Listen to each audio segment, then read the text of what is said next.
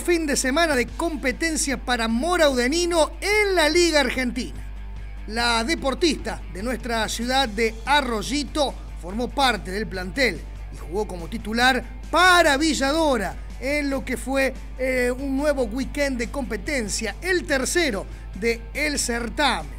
Allí el equipo de la representante de nuestra ciudad, como decíamos, arrancó en condición de local jugando el primer partido ante San José de la Rioja.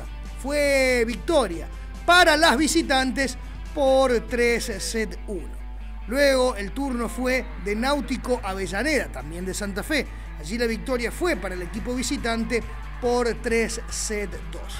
Ya el día domingo, el equipo de Villadora, con la central de nuestra ciudad de Arroyito como titular, le ganó a la selección argentina menor por 3 set 1 y obtuvo así la primer victoria en esta competencia, la más importante del vóley femenino a nivel nacional.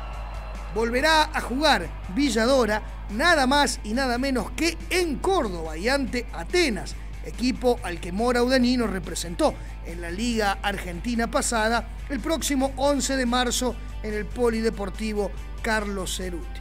El mismo fin de semana, Banco Provincia de La Plata será rival del equipo de Mora Audenino. Hasta aquí, Villadora de Santa Fe ha sumado cinco puntos, producto de un triunfo y ocho derrotas jugados nueve partidos en esta Liga Argentina de Voleibol Femenino que tiene Gimnasia y Esgrima de la Plata con 25 puntos como único líder, seguido por River con 21 y Estudiantes de la Plata con 20 puntos.